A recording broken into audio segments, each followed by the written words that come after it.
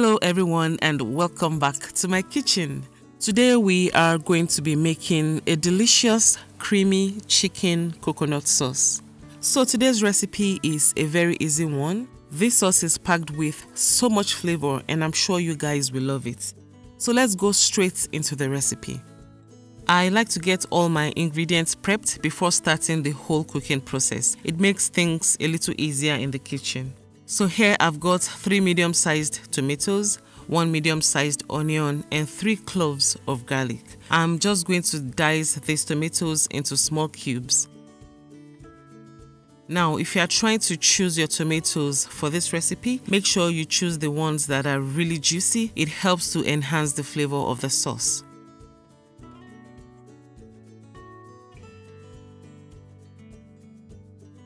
I'm also going to be dicing my onion.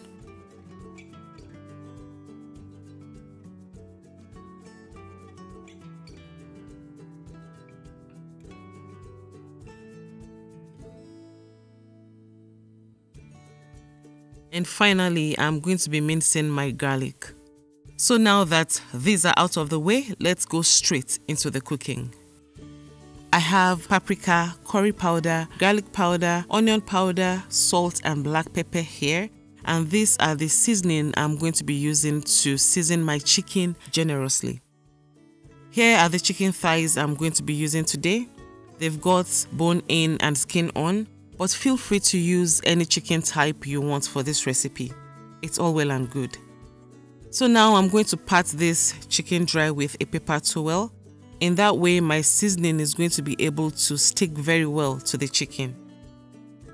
Then I also like to add some olive oil and this is also going to help the seasoning stick better. I'm now going to be using my hand to massage this chicken because we want all that seasoning to coat every part of the chicken. Now, I know not a lot of people are comfortable using their hands to do this. If that is you, feel free to use you know, a pair of gloves before doing it. I'll be adding some coconut oil inside my pan and I'm using coconut oil because I want the sauce to have a full-bodied coconut flavor.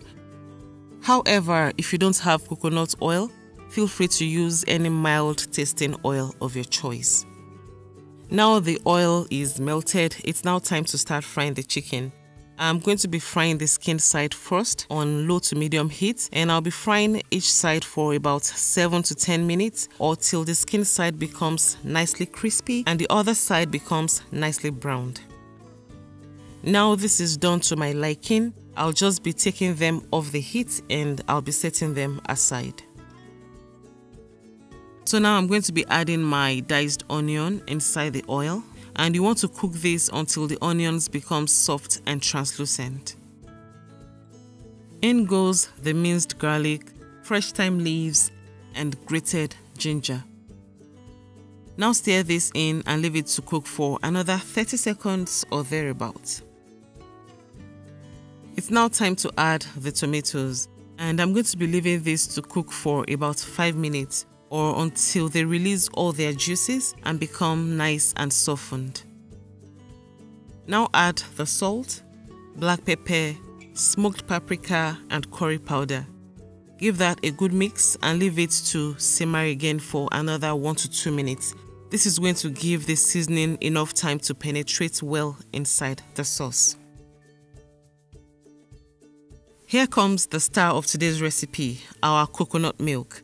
I'm going to be adding this straight inside the sauce.